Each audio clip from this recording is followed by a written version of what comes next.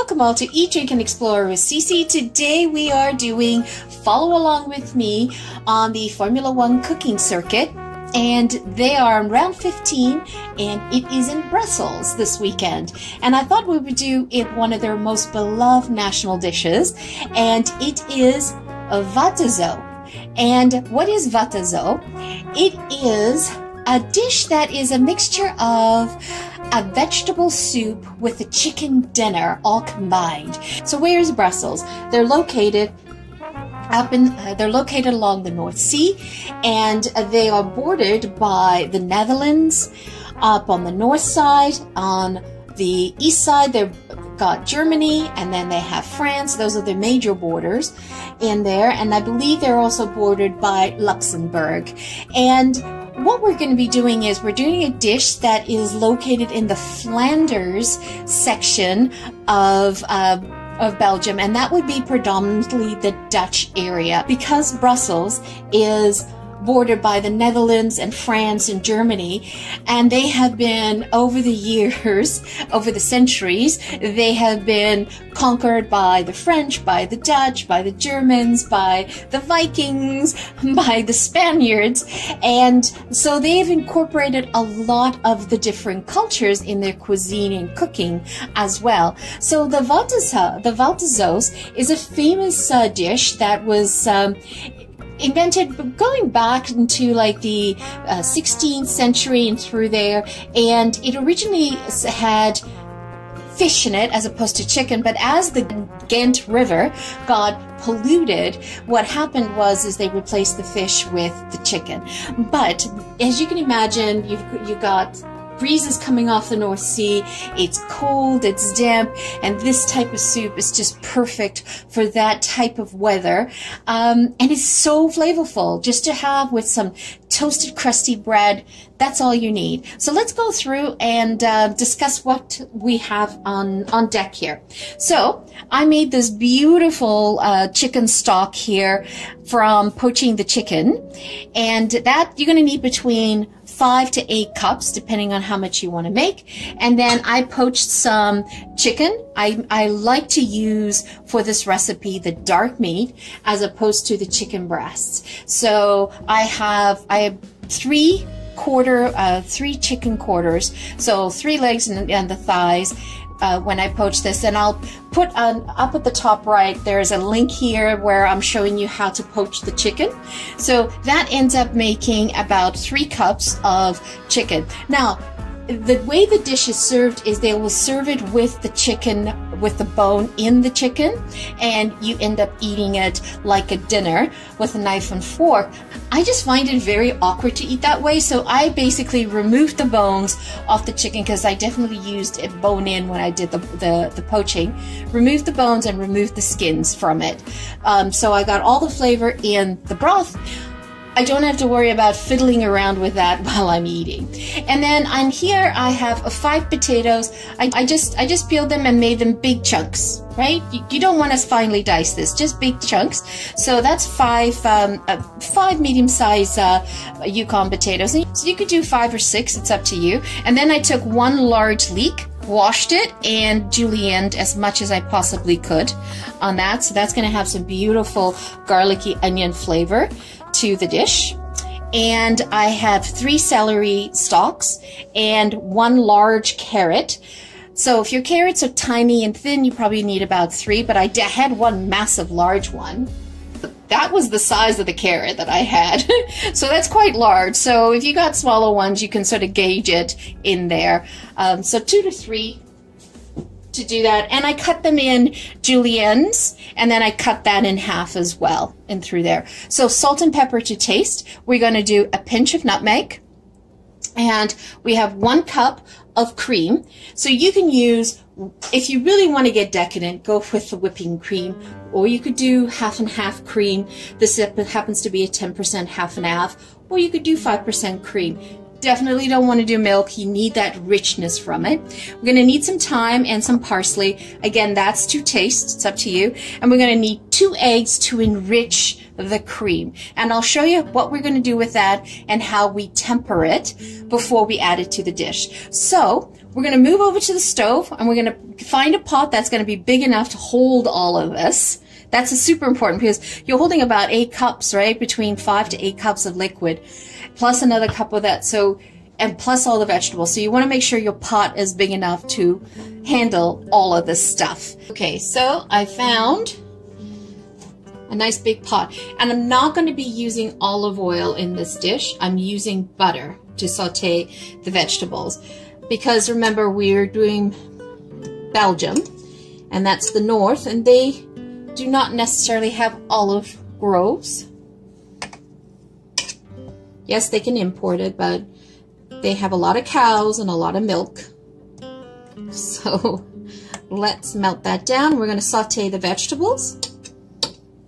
And then we're going to put everything together in a pot and then simmer that down with all the flavors sort of amalgamate.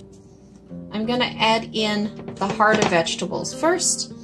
So I'm going to add in the carrots.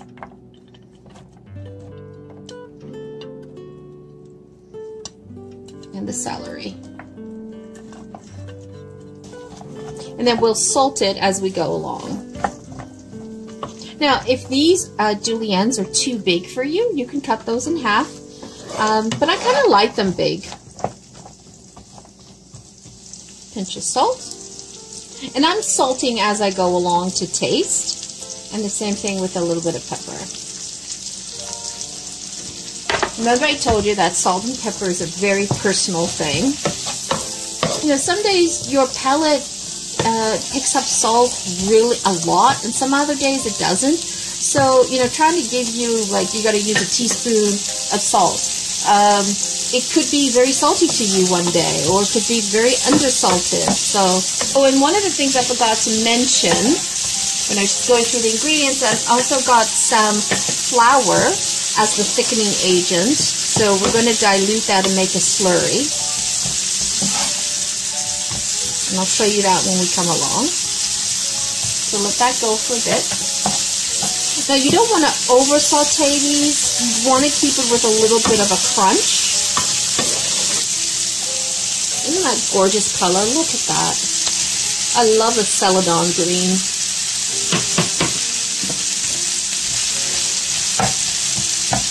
Try to separate there's different ways of making this dish in Belgium. It's, it's uh, very personal. Uh, everyone has their own way of doing it, but this is a generic one. I have seen people make this recipe by adding a parsnip. So they would add a little bit of carrot, orange carrot, but then also add parsnip instead. I couldn't find parsnip, so I think that's more of a fall vegetable. So lovely, the colors. So we're going to add in the potatoes.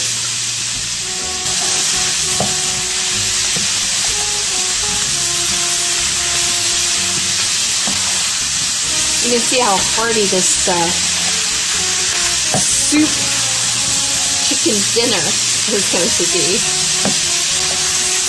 And the star of the show here is that homemade chicken broth that I did by poaching the chicken I mean, you can cut up a whole chicken, whole chicken with its carcass and everything, and poach your chicken that way and then cut it up. And traditionally, they would add in the uh, giblets in here. And uh, Julia Child has a recipe for the uh, sauce, the chicken Vatsu sauce, in one of her cookbooks. It's called the French Cook the French Chef's Cookbook, uh, published in like 1968. And um, she goes through the entire process of doing this, and I'm mean, she uses a lot of cream. Oh my. I've definitely cut down the cream on this. You can tell it's just different era. But I love my Julia. Okay, so we're starting to get some color. We don't want too much color on the vegetables, remember? Because we don't want to brown this soup. We're going to add in the chicken.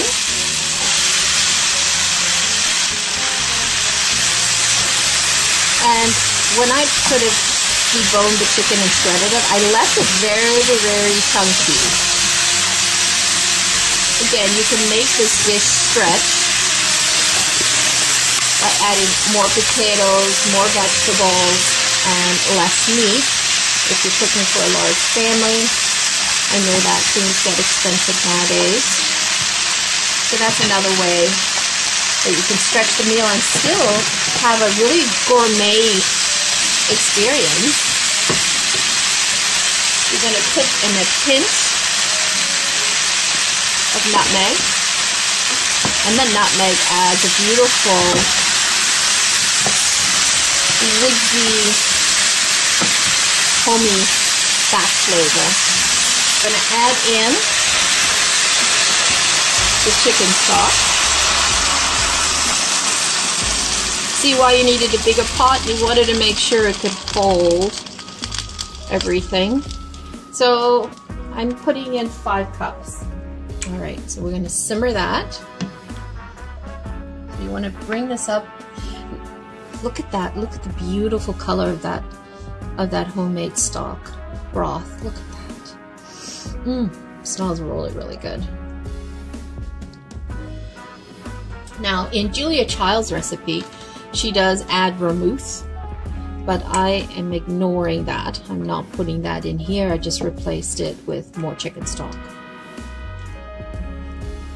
Put a cup of vermouth. One less cup of stock and a cup of vermouth if that's what you would like. And if you are going to add the vermouth, you want to add that in while you're sauteing your vegetables because you want to evaporate the, the alcohol. And I'm going to taste the broth for seasoning.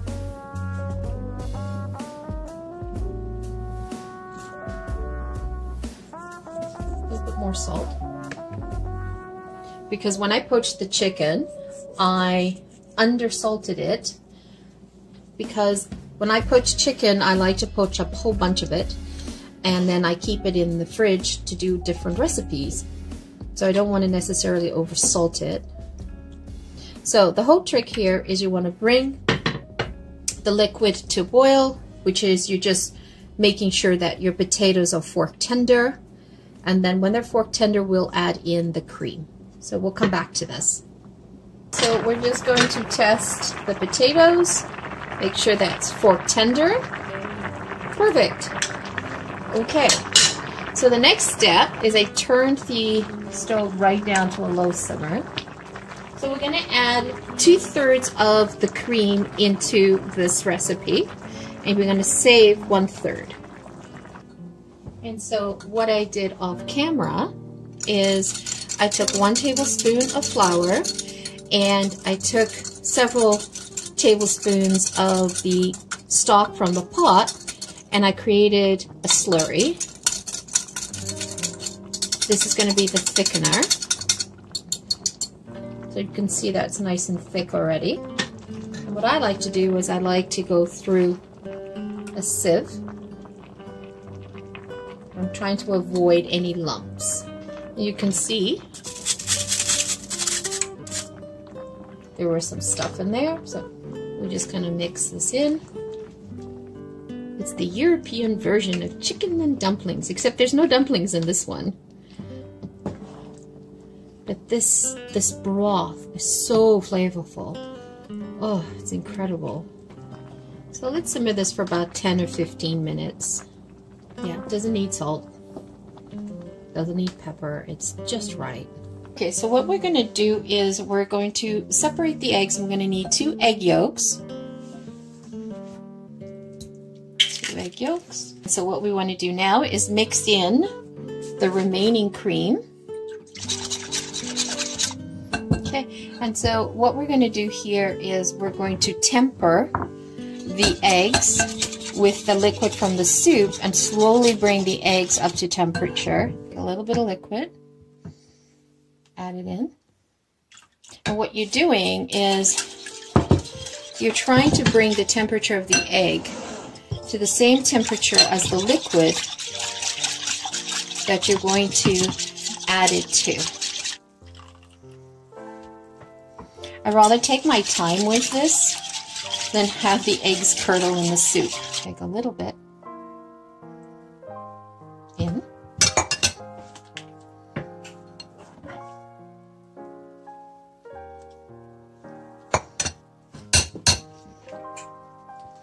Because I whisked the egg yolk and the cream together, I added, I did introduce some air in to the mixture. So that also is helpful. So you can see the foam there. This looks so yummy. The broth is the liquid gold in this. What I like to do is add in some parsley and add in some thyme. Just want the leaves. And this thyme that I'm adding in, I had in my garden, and it's um, called a lemon thyme. And it has this beautiful citrus fragrance to it. I have a big batch of thyme growing in a pot outside. You know how we all tend to gravitate to certain herbs? I love ras uh, rosemary and thyme. Oh, I remember that TV show, an old British TV show, where you had these gardeners and they were detective sleuths called Rosemary and Thyme. It was a great show. I got my gardening fix with my detective fix all in one show. It was quite funny. Oh. Wow. I can't wait to try this. Oh. Mmm. All right. I imagine that in a bowl with some crusty bread. Mm. I picked up a loaf of uh, Belgium bread, which is sort of like a rye, but not quite a rye, not quite a sourdough, but it has that density to it. This is the Belgium bread that I picked up. It's really nice. Uh, I picked it up at Metro. Uh, ba their bakery always has it. Okay, so let's plate this. Doesn't this look so good? This is a meal in itself. So now you know why I took it off the bone, because I don't necessarily want to sit here and eat it with a knife and fork. I really don't want to do that. I want to be able to use a spoon because everything is being cooked down that you can pick up with a spoon. Look at that. Look at the colors on that. And that's a nice meal for a person.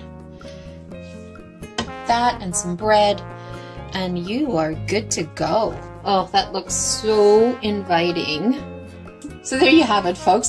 The Belgium national dish called waterzooi and it is the chicken based one. It is a soup, a vegetable soup with poached chicken on it. It is luscious, it's filling, it aromatic. I mean, the broth is so aromatic. This is something that I keep in my rotation all the time. It's something different than doing chicken noodle soup all the time. And it has that same warm consistency that you're looking for when you're trying to have chicken noodle soup. So there you have it. Hope you enjoyed it.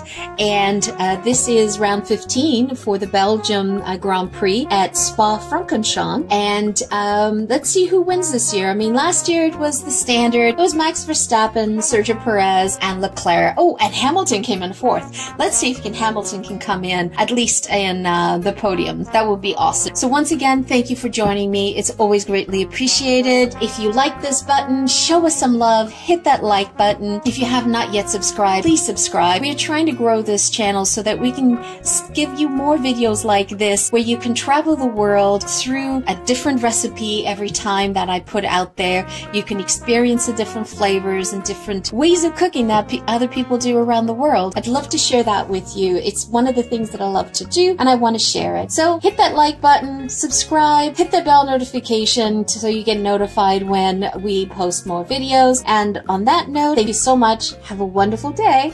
Ciao for now. And broth, can you tell? I thought what we would do is something fun and uh, make one of their beloved national dishes called Geist Vattezalm. Let me try that again. Guys, Vattezalm. Vattezun. I will put out the pronunciation on the screen.